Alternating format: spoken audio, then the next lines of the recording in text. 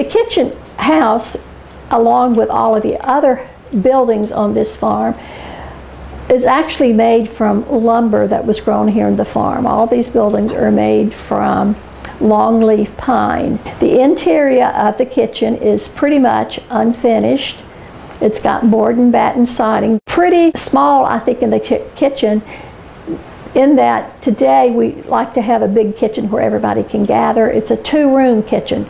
The room on the left as you go in is the dining area. After Mrs. Dudley had cooked the breakfast, then the men and the farm hands, they frequently fed farm hands, were called in to eat breakfast. There was a big brass bell that they would ring. So they could come in, have their breakfast, then go back out, head to the fields, do whatever needed to be done.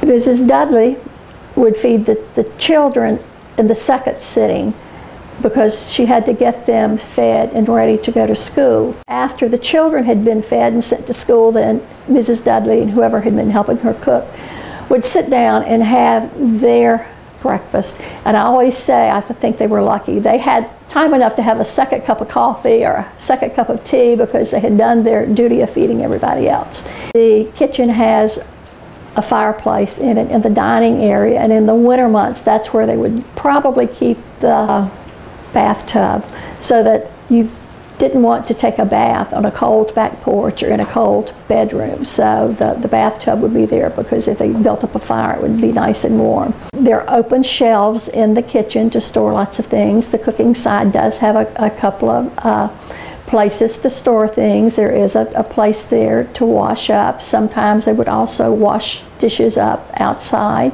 There is a back porch on the kitchen. Um, and I like to think of the back porches of the house and the kitchen both as being working porches. I can sort of visualize people sitting there and snapping beans and shelling peas and peeling potatoes because when you're cooking for 12 kids and adults and farm hands, it took a lot of food to prepare on a daily basis. After they had cleaned up the kitchen, Mrs. Dudley and, and whoever was helping her cook probably started preparing the main meal of the day which they referred to as dinner. They tried to have it around noontime. Once again, they'd ring that big brass bell, and apparently that bell was pretty loud because he said it didn't matter where you were working, that you knew that it was time to go in and eat. They ate lots of the food that they had grown here hams, smoked sausage, bacon, lots of fresh vegetables, lots of fruit, they had an orchard full of pear trees at one time, fig trees, peach trees, and all those lend themselves to canning and making jams and jellies and preserving them some way. The, the kitchen, I think, was a, a nice place to gather for the evening meal because you were going to have exactly what you had for dinner. They cooked enough at the noon meal to eat leftovers at night.